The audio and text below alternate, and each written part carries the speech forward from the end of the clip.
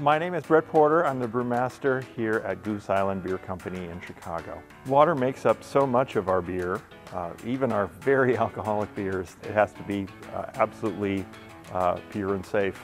Clean water is a palate for a brewer and we can make the water what we want of it, but we don't want it to come into our brewery either polluted or with microbes that could cause harm to our product or anything that could uh, affect our process. So clean water is the first thing the brewer needs to have in their plant.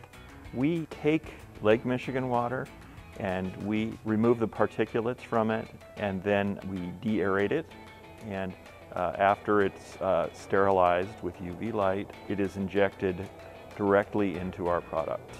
So it has to be absolutely pure and safe. Like most breweries, um, we try to minimize our water use and the way the brewer measures that is by the number of barrels used coming into the plant and the number of barrels of beer produced.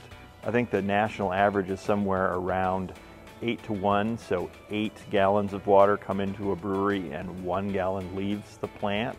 Um, but we're always striving to use as little as possible, to use it as, as efficiently as possible. If you're out in the middle of Lake Michigan, you can't see the shoreline.